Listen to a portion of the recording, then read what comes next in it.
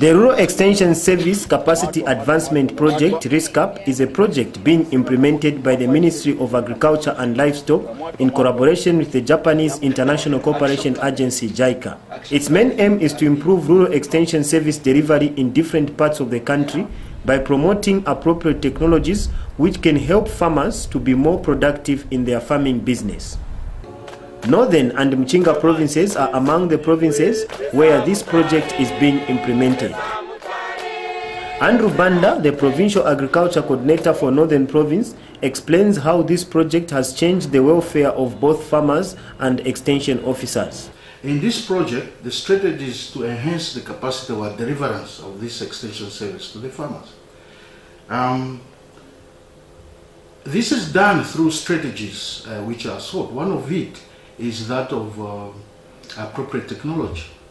We have identified a number of appropriate uh, technology, uh, like the mushroom growing, and then uh, we also have uh, lowland rice production in Kaputa.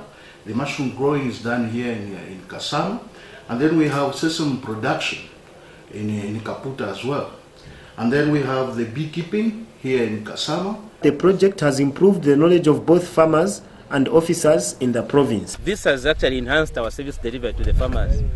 Actually, it has helped us to uh, transfer uh, latest technologies which are appropriate to the farmers, of which work with the farmers on the farms to enhance their productivity. What is the impact of RESCAP to farmers in Muchinga province? There are a number of uh, projects that has been funded by the Japanese and a lot of technologies that has been promoted throughout the, the districts.